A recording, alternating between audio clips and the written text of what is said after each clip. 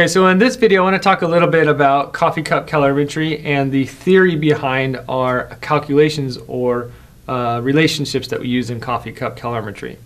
So coffee cup calorimetry, our goal here is to look at the enthalpy change for a reaction, and we're using aqueous reactions. Right? We're going to see they're going to be in water in a solution.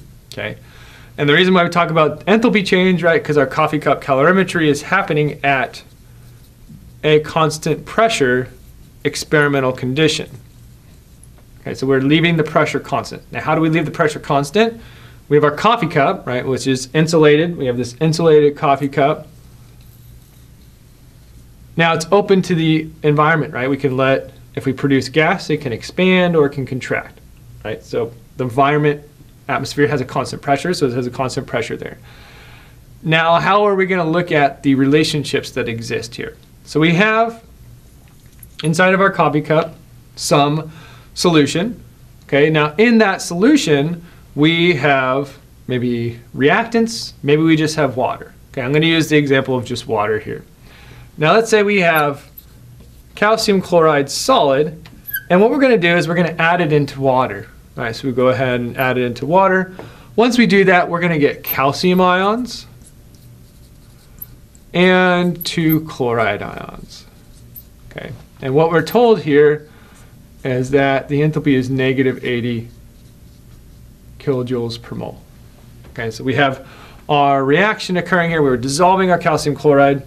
So now, what is this going to do to our solution, and how do we define a couple things? Okay, so let's go ahead and say we take our calcium chloride, we drop it in here, and now we got our solid calcium chloride.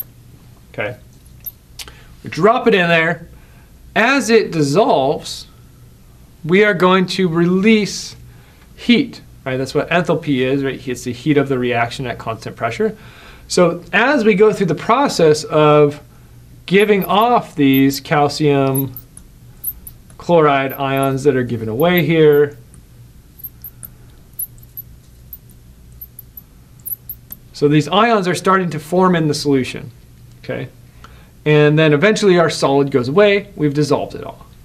Now in order for us to conceptually understand our heat transfer, where we could say Q1 equals negative Q2, we've got to understand, well, what's our system and what's the surroundings just around our system, okay? Now remember, we defined our system as what we're studying, the lens that we're looking at with regards to energy change. Well, the energy change we're talking about here is our system of our reaction. So our reaction is the system that we're observing, that we're trying to look at how its change in energy occurs.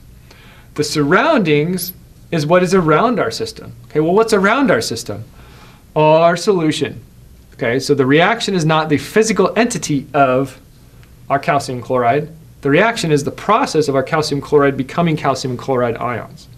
So that process of that reaction is happening in my solution and so my solution is the surroundings. Now this solution would be my water, my calcium ions, and my chloride ions. Okay, so now we see it's kind of a weird thing that calcium chloride is part of my, uh, my system, the reaction here, but then the products, the calcium chloride, is also part of my surroundings, the physical pieces. The reason why we would say that they're part of the surroundings is my surroundings, my solution undergoes a temperature change. Okay, well, if my water in here changes temperature, so does every one of these ions because they're integrally mixed in the water. They're not separated. So if my water goes from 15 degrees Celsius to 25 degrees Celsius, so will these calcium and chloride ions. So that would mean as we're looking at the Q of my surroundings, how much heat is gained or lost by my surroundings, we've got to include the amount or mass of what's in there. Not just my water, but also the ions that are present in solution, or the molecules if it's just molecular compounds that are dissolved. Okay. And so then if we look at this and we identify, well, now I know some information that's going to give you the ability to measure my temperature uh, in my solution here. What does that tell me? Okay. Well, we know that the Q of my system, the amount of heat that's occurring because of my reaction, in a previous video we talked about this, that relates to my enthalpy change. Okay, so my enthalpy change tells me what my Q of my reaction is, my system is going to be. My surroundings is an object changing temperature. Right? In a previous vid video, we talked about that. My object changing temperature, we can say, is equal to C delta T if we know the heat capacity of my solution with the calorimeter. Or we can say ms delta T, right? The mass, remember this is of my solution, specific heat of my solution, and then the temperature change that occurs. So now we see an enthalpy change is causing a temperature change. So my enthalpy change, my change in enthalpy, higher high potential energy or low potential energy to higher or lower potential energy, that difference in potential energy is releasing kinetic energy into my surroundings, my, my solution, causing a temperature change to occur. Okay?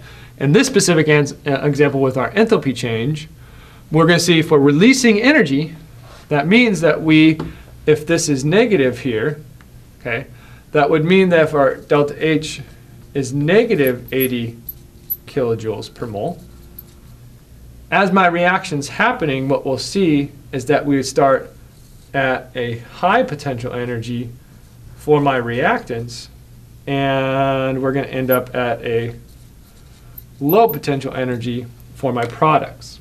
Okay, This difference in potential energy is the amount of kinetic energy released. So now we see that we're producing this kinetic energy that's going into my surroundings, causing this temperature change to occur for my surroundings. Okay?